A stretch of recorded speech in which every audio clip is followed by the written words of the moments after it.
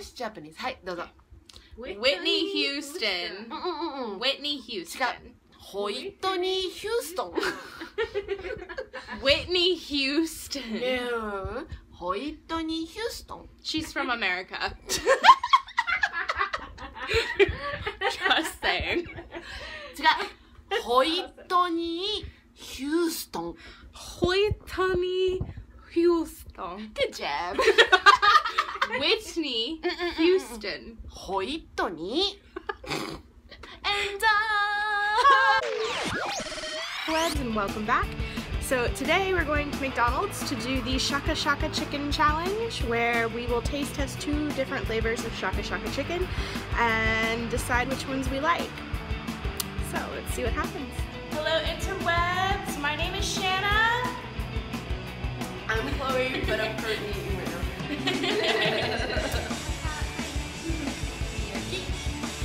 So today we are at McDonald's and we are going to try the Shaka Shaka Chicken. Team Chloe is all about uh, red pepper. I am going for the red pepper today, which is this one. Okay. So, what you do is you open it. I'm not going to do a full demonstration. You open it, and then you put the powder in here, and then give it a shake, and then there's a tear line along here, and then you can hold it and not get your hands oily and greasy. So it's kind of good. Yay!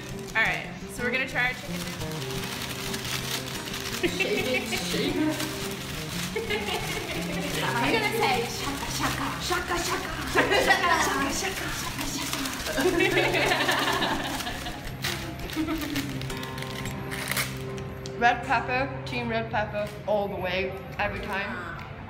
Never go for the cheese. The cheese sucks. Get the red pepper. Even though technically it's not red pepper, it's chili. Really, it's chili powder. But it says red pepper. But, but it has to be chili. Mm. That's gonna be Pretty good.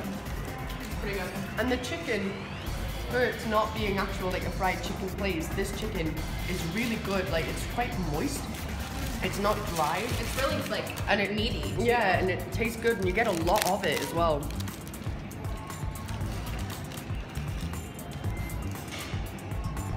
That's pretty good too. Is that the cheese one? Mm-hmm. What's it taste like? Explain. Like, oh, you know the the cheese, cheese cheddar cheese popcorn. Mm-hmm. It tastes like cheddar cheese popcorn, but chicken. not popcorn. It was really good. I don't know. I don't know what I like better. It's a hard question. Could I try the bite of the cheese one? This, by the way, I'm only doing this for science. It's for science. Science. Cheese. Never done this before. Um,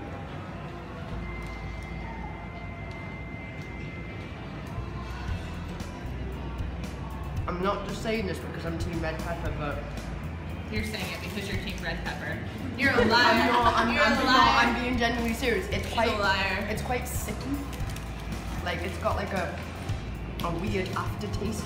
Okay, I'm gonna try them together. Oh, that tastes. Shaka chicken sandwich.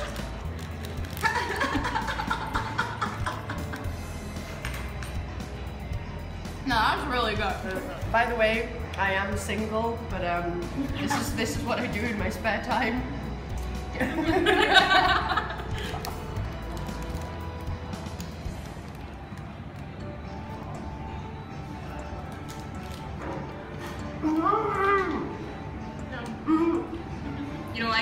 cheese ruins it every time. I like the cheese. I like the cheese. I do think, and I'm not a spicy food person, but it and it is a little spicy, but I do think the red pepper is better. I'm I'm team red pepper.